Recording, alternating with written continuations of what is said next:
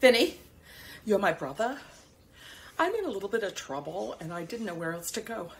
Listen to this obituary I just found at the Atlantic City paper. Uh, you're holding it upside down. Put on your glasses. British shoe salesman inherits $6 million from casino manager uncle. I don't get it. Let me start at the beginning.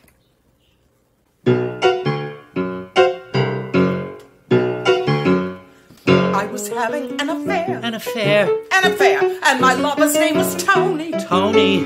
Hendon. He managed my husband's casino.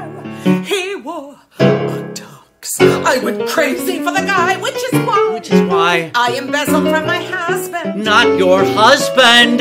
We stole from my husband's casino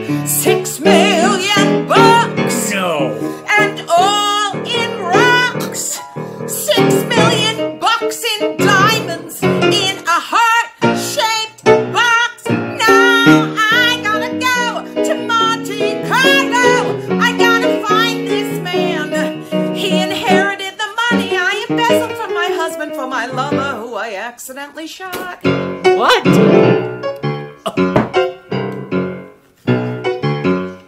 Well, I went to Tony's place. Tony's place. It was dawn, and I saw a woman leaving. Woman. Leaving. I knew that my Tony was in there. Well, I saw red, and the room was very dark. Very dark. Very dark, and I didn't have my glasses. What? No glasses. And there in the dark,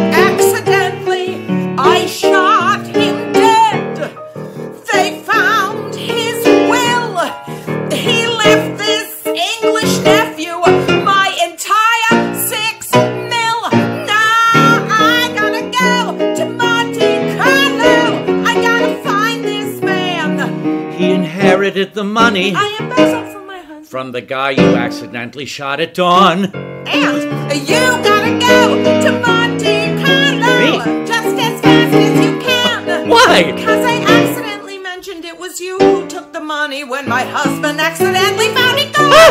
what could I say? What did you say? What did you say? What could I do? What did you do? What did you do? The money was gone, No. on you. I said you lost at gambling. I was desperate. It just it came out of my mouth spontaneously. And now, well, I think Nikki has a contract on your life.